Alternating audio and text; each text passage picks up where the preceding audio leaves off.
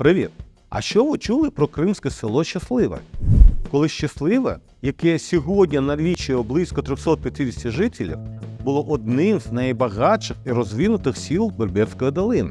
Цікаво, що історію села простежують з 15 століття, але наявність на околицях села таврських поховань, так званих кам'яних ящиків, дозволяє зробити припущення про заселення місцевості часів до нашої ери. Справжня назва місця звучить як Бюю-Козінбаш. І навіть автор першого путівника по Криму Шальман Тадон у 1833-му змалював Бюю-Козінбаш так: це село одне з найбільших багатих і промислово розвинених у Криму. У 1944 році майже всі жителі Бюю-Козінбаш були депортовані в Центральну Азію, а село було перейменовано щасливо.